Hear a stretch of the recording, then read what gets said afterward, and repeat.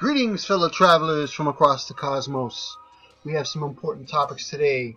We're going to go down the nuclear rabbit hole,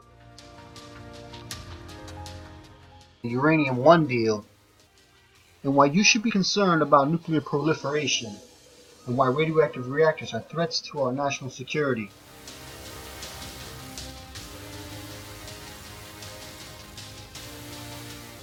You are behind the scenes, someone is selling bomb grade material to the highest bidders?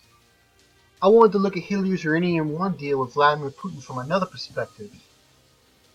The question nobody is asking is why would the Russians buy uranium when they have enough nuclear weapons to bomb the entire Earth 23 times over? Russia has the largest landmass in the world with tons of untapped reserves of uranium. I believe that the main reason why Russia bought the uranium was because the Kremlin feared if they did not buy the uranium from Hillary, she would sell it to one of Russia's sworn enemies.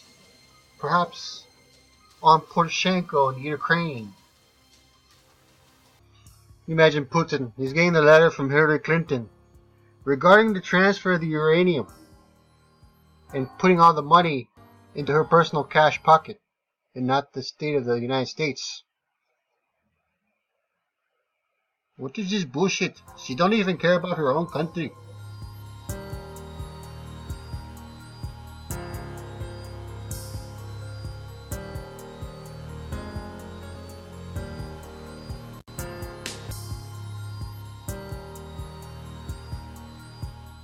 Or what about Erdogan, the strong-armed dictator that dissolved Turkey's constitution and had the stones to shoot down Russian warplane boarding its airspace?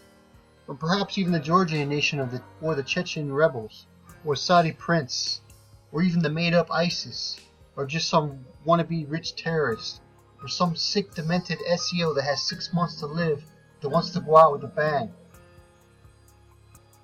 This is how we draw the rocket. This, no doubt, probably brought up the price of the uranium, and the Russians agreed to pay truckloads of cash for it so they could lessen the risk of nuclear proliferation ending up in the hands of a psychopath. Perhaps this was Hillary's and Bill Clinton's biggest heist of cash that any politician could ever get. And the price was high. But why would Russia be entitled to get this uranium over the other bidders? That's the main thing people are having a problem with is why would Hillary give it to Russia? And in some ways, they were obligated due to a treaty. So the Russians agreed to pay truckloads of cash for it so they could lessen the risk of nuclear proliferation ending up in the hands of a psychopath. The USA was in violation of its treaty with Russia to curb its own proliferation of bomb grade material. The uranium was supposed to be mixed or reprocessed to not make nukes.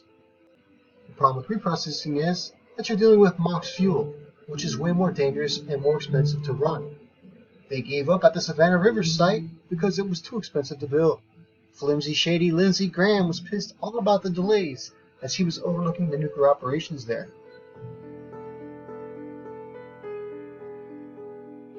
Poor South Carolinians exposed to the heavy rats from all type of nuclear operations across the Carolinas.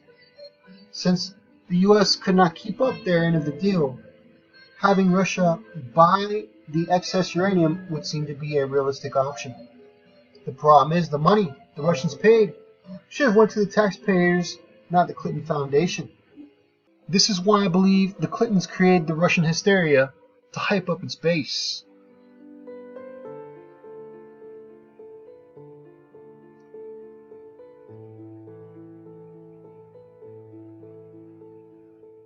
Putin, the magnificent KGB hacker who types password in the password field and reads the Podesta emails like a bedtime story, next to the fireplace in his cool Siberian getaway cabin. Perhaps Putin, for the time being, has stopped a covert nuke by proxy. If the nuclear material did fall into the wrong hands and major cities were nuked, there would be hell to pay.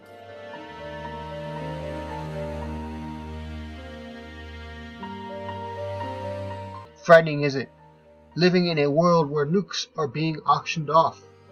It's no wonder that Putin would rather negotiate with Trump. And this made Hillary really jealous. As Putin was showing his favorability towards Trump because he was tired of Hillary and her slick dealing. It was just too much for Hillary to bear and played a factor in the Russian hysteria of hacking the election. So far, the only evidence of Russian collusion are Facebook ads bought by Russian loyalists who despise the Clintons. Not exactly incriminating. And Zuck approved taking the money, so blame Mark Zuckerberg. What I found utterly hilarious is the Robert Mueller is found deep down the rabbit hole, being the transfer guy, acting as the uranium pimp that brought the samples to the Kremlin to test the purity like a cocaine dealer.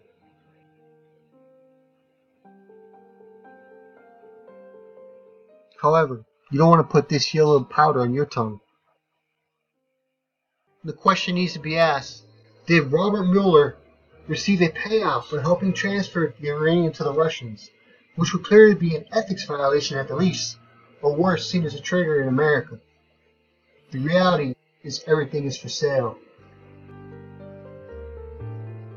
The quality of your food is for sale. Contaminants in your water is for sale. Pollutants the air in your breathe is for sale. Keeping you sick and docile is a sales strategy. Everything has a price to these globalist rats. So this whole notion that Russia needed the nuclear material does not add up. Russia, with its estimated nuclear bomb stockpile of around 5,000 nukes, could bomb all 195 countries 23 times each before the Uranium One purchase. You gotta wonder who were the other bidders? The Saudi prince? A sick, demented CEO with six months to live, wanting to go out with a bang?